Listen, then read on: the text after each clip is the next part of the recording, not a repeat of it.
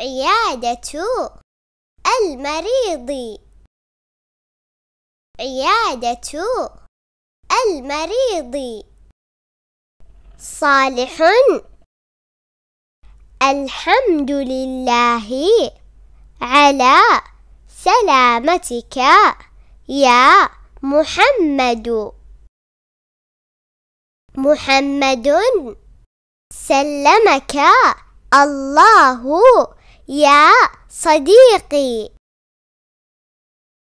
صالح خذ هذا الدواء.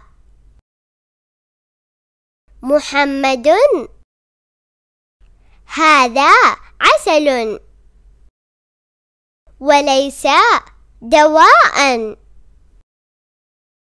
الطبيب خذ العسل.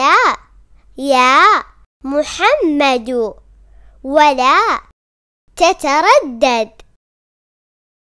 فالعسل دواء لألم البطن.